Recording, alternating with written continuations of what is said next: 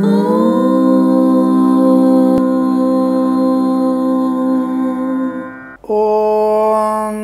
श्रीगुरुभ्यो नमः।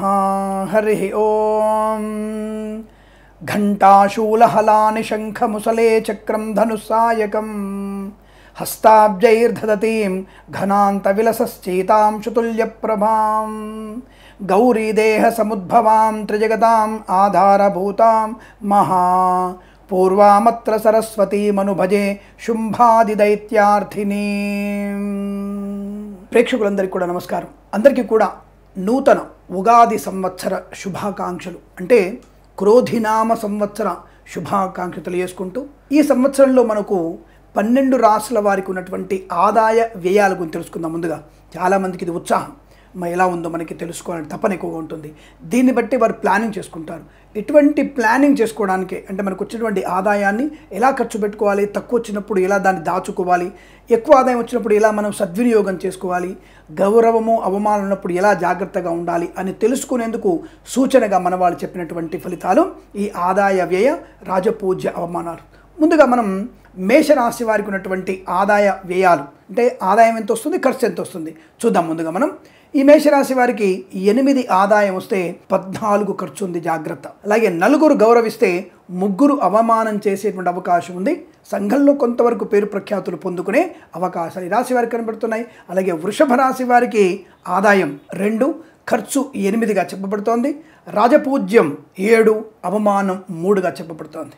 అలాగే మిథున రాశి వారికి ఐదు ఆదాయము ఐదు ఖర్చుగా చెప్పబడుతోంది. ఖర్చు ఆదాయం సమాంతరంగా ఉన్నాయి గుర్తుపెట్టుకోండి. అలాగే గౌరవం మూడుంటే ఆరు అవమానం ఎక్కువ ఉంది. అంటే పది మందిలో మాట్లాడుతున్నప్పుడు చాలా జాగ్రత్తగా మాట్లాడే ప్రయత్నాన్ని చేయండి. లేదా పది మందిలో పలుచనయ్యేటువంటి అవకాశాలు ఎక్కువగా ఉంటాయి. ఈ విషయాన్ని గుర్తుపెట్టుకోండి. ఇక కర్కాటక రాశి వారికి ఆదాయం పద్నాలుగు ఖర్చు రెండు మాత్రమే ఉంది. ఈ సంవత్సరంలో అత్యంత అదృష్టవంతులు వీరొకళ్ళు. అంటే ఆర్థికమైనటువంటి ఆదాయము కాకుండా స్థిరాస్తుల్ని కొనగలిగేటువంటి అవకాశం కూడా ఉంటుంది. రుణ బాధను విముక్తులయ్యేటువంటి అవకాశం ఈ రాశి వారికి కూడా ఎక్కువ కనబడుతుంది. అలాగే ఏం లాడ్చని గురించి తర్వాత మాట్లాడుకుందాం మనం. ఇప్పుడు మాత్రం ఈ సంవత్సరంలో మీకు పద్నాలుగు లాభం రెండు ఖర్చుగా చెప్పబడుతోంది. ఆరుగురు గౌరవిస్తే ఆరుగురు అవమానం చేసే అవకాశాలు కనబడుతున్నాయి. జాగ్రత్త. అలాగే సింహరాశి వారికి రెండు ఆదాయం పద్నాలుగు ఖర్చు. చాలా జాగ్రత్త ఉండి వచ్చిన ప్రతి పైసని పొదిమి పట్టుకోవాలి. ఖర్చుని బాగా నియంత్రించుకోవాలి. అనవసర ప్రయాణాలు చేయకూడదన్న విషయాన్ని గుర్తుపెట్టుకోండి. అలాగే సంఘంలో వీరిని ఇద్దరు గౌరవిస్తే ఇద్దరు అవమానం చేసే అవకాశం కనపడుతోంది. ఇక కన్యా రాశి వారికి ఎలా ఉండబోతోంది? కన్యా రాశి వారికి దాదాపుగా ఐదు ఆదాయము ఐదు ఖర్చుగా చెప్పబడుతోంది. అలాగే రాజపూజ్యం ఐదుగురు గౌరవిస్తే ఇద్దరు అవమానం చేసే అవకాశం. అంటే ఈ సంవత్సరంలో మంచి పేరు ప్రఖ్యాతులు పొందుకోగలిగే అవకాశం పది మందిలో ఉన్నత స్థాయి గౌరవాన్ని పొందుకునే అవకాశం చాలా బ్రహ్మాండం కనపడుతోంది ఇక తులారాశి వారికి ఉన్నటువంటి ఆదాయం రెండు ఖర్చు ఎనిమిదిగా చెప్పబడుతోంది. జాగ్రత్త.